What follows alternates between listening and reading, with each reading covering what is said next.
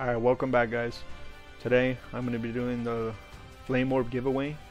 Uh, I made a video on how to get the Flame Orb. Some people have had success with it, some people haven't.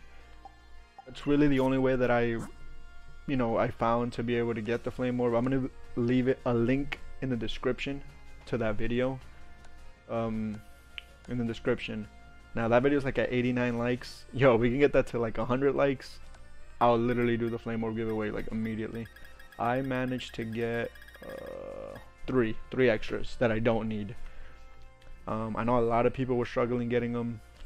I was as well. I have a lot of time played on this game, so that's probably the only reason why I was able to get three.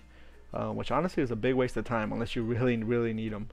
So, three, three lucky of you guys are not gonna have to do any of that. And not gonna have to do the video.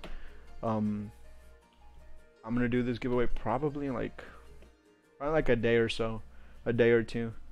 Um, but yeah, I mean, all you gotta do is just go get that video, the one that I'm gonna link in the description, get that to 100 likes, and then the second that hits 100 likes, literally, I don't just leave a comment when you did it, and then I'm gonna just pick one, pick somebody I randomly. I'll send you a message through YouTube, and then I'll just I'll just trade it to you. I'll just put a Delibird or something and just put the flame orb on it, and just we can figure out when to, when we can link trade and stuff. But yeah, three. I'm giving all three of them away as well. I don't need these three, so I'm gonna give them all away. And yeah, that's basically it.